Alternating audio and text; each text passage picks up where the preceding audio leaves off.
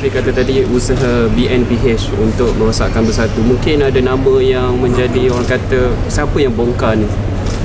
Saya bukan terbongkar pasal uh, kalau saudara ingat apa pernyataan yang dikeluarkan oleh Presiden UMNO?